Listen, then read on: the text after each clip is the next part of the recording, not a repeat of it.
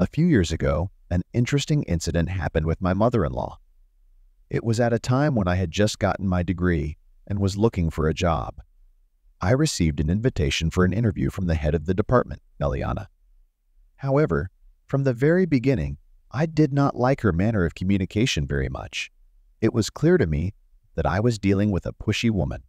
Throughout the internship, I became more and more convinced that my initial impression was correct. I had even underestimated my future boss's desire for power.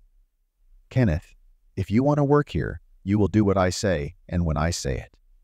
This was her favorite response, despite my attempts to discuss the inconvenient schedule or the constant fixing of reports, she ignored my complaints. The appearance of my boss perfectly matched her image of a strict and authoritative figure, despite the fact that she was already in her 40s.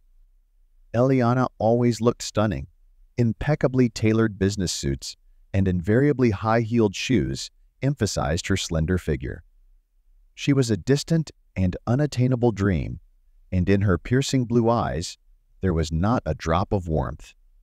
A year later, Eliana was promoted and took a position as a lawyer in a well-known company.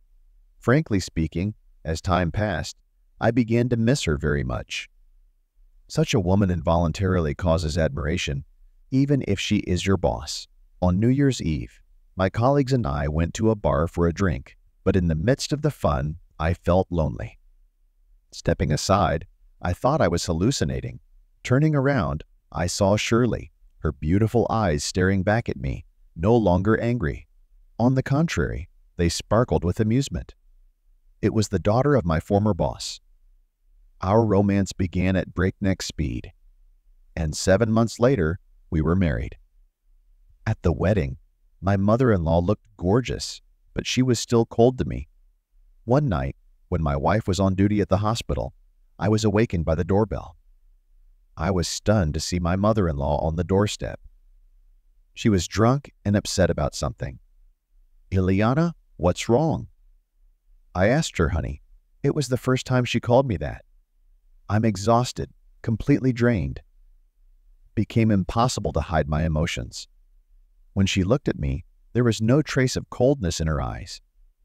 They were like a welcoming sea, inviting me to explore its depths. I saw her slightly open lips and realized that there was no turning back for me. That enchanting night, my snow queen, my dream, my former boss, and now my mother-in-law, became my lover, giving me an unforgettable feeling of warmth. However, I soon made a decision to end it all as I felt ashamed in front of my wife. When I confessed to my mother-in-law, she strongly opposed my decision, saying that she had no other man in her life.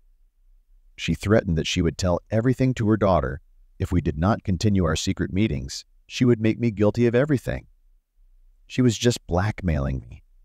I am at a loss. What to do? Please, if someone has faced a similar situation, give advice on how to cope with this predicament and get rid of the influence of my mother-in-law.